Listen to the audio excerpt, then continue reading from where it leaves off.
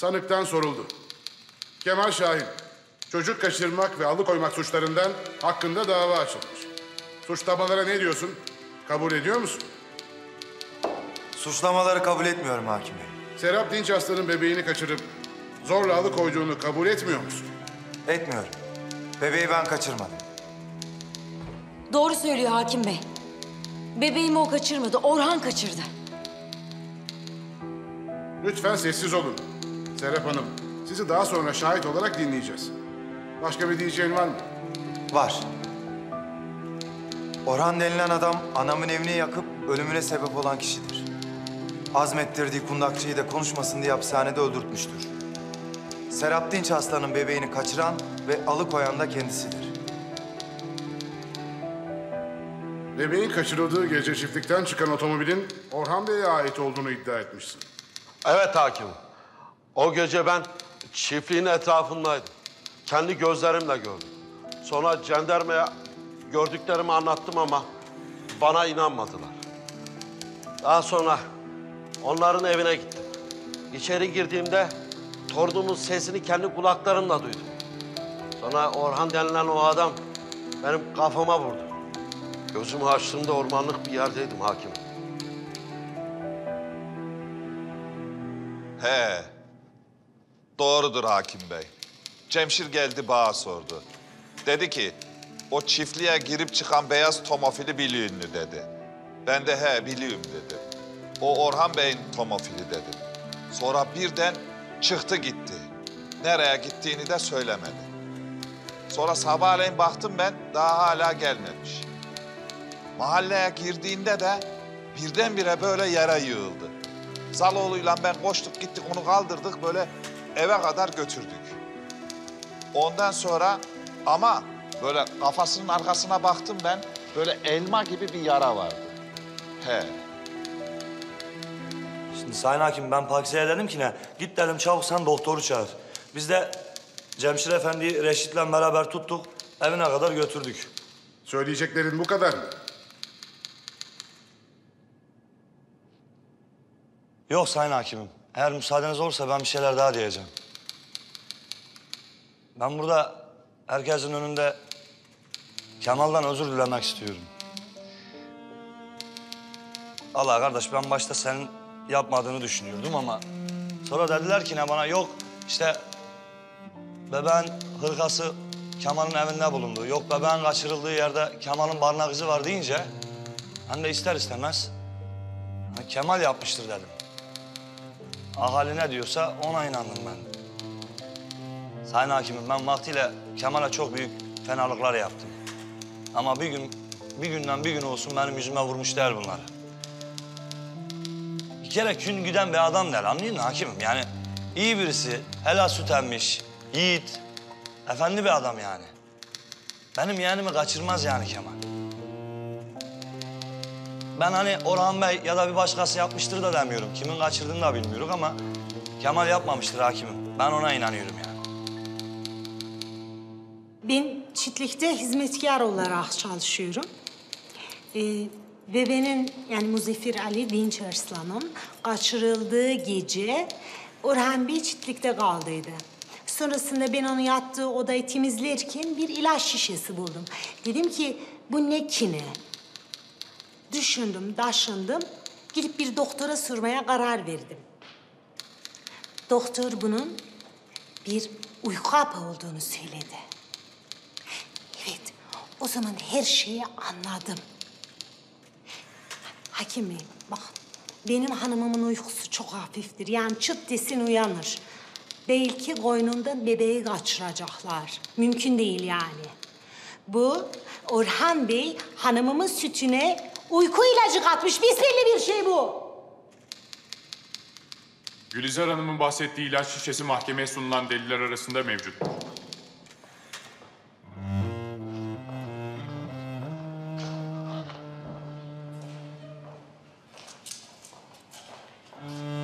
Anlat bakalım. Sen Kemal Şahin'i neden bıçakladın? Kemal, Güllü'nün bebesini kurtarmak için kaçtı hapisten hakim bey. Benden onu bıçaklamamı istedi. Yeğeninin hayatı buna bağlı dedi. Yani anlayacağınız Kemal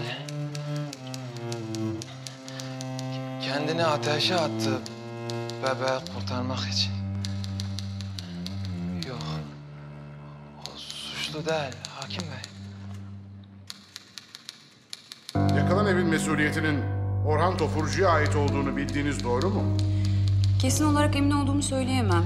Ama köylünün biri yanıma gelip evi Orhan'ın yaktırdığına dair bir takım şeyler söyledi. Konduramadığım için üzerinde durmadım.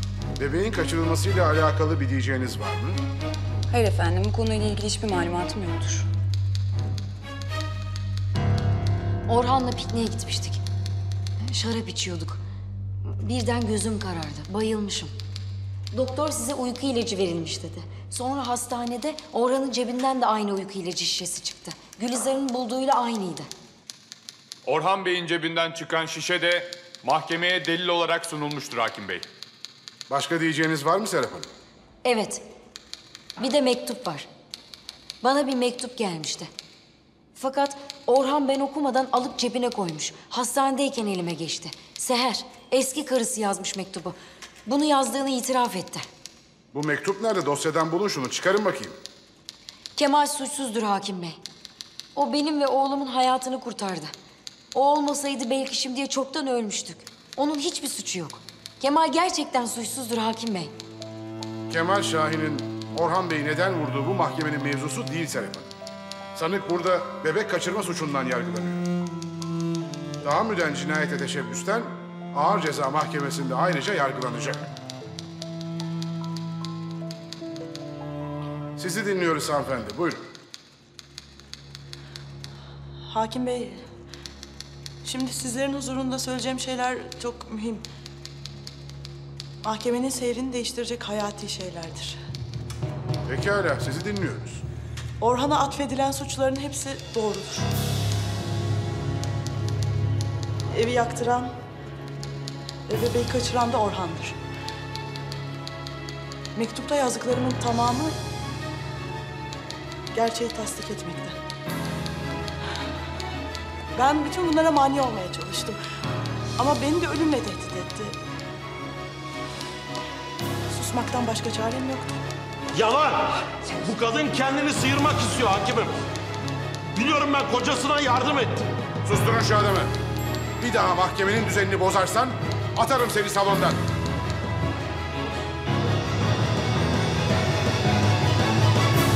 İddia makamından esas hakkındaki mütalası soruldu. Sübut eden delillerin ışığı altında sanık Kemal Şahin'in itham olunduğu suçu işlemediği şahitlerin ifadeleriyle sabitlenmiştir. Sanığın beraatine karar verilmesi kamu adına taleple mütalaa olunur. Gereği düşünüldü. Her ne kadar sanık hakkında Güllü Dinç Aslan'ın bebeğini kaçırmak suçundan kamu davası açılmışsa da toplanan deliller ve tüm dosya kapsamı nazarı dikkate alındığında sanığın üzerine atılı suçu işlemediği sabit olduğundan beraatine karar verilmiştir. Ancak sanık başka suçtan tutuklu değilse sanığın tahliyesine, aksi takdirde tutukluluğunun devamına karar verildi. Orhan Tofurcu'nun Meryem Şahin'i öldürme ve bebek kaçırma suçlarına ilişkin Cumhuriyet Savcılığına suç duyurusunda bulunulmasına karar verilmiştir. Dava sona erdi. Sanığı götürün.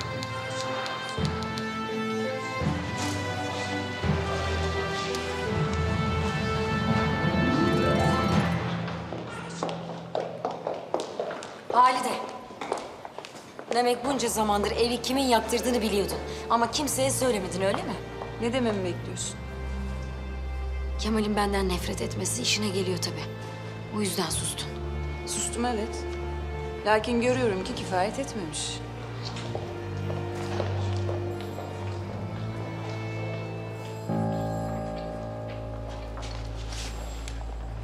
Kardeşim merak etme. Allah'ın izniyle bu davadan da kurtaracağım. Sağ ol Ahmet. Allah senden razı olsun Kemal. Senin için hep dua edeceğim. Sağ ol. Sağ ol. Allah kurtarsın. Sağ ol. Allah kurtarsın. Allah kurtarsın işte. Sağ ol Ramazan. Kemal, sana ne kadar teşekkür etsem azdır. Hayatımızı sana borçluyuz. Senin hakkını ödeyemem. Ama bilmeni istediğim bir şey var. Öbür mahkemenin sonucu ne olursa olsun. Seni bekleyeceğim.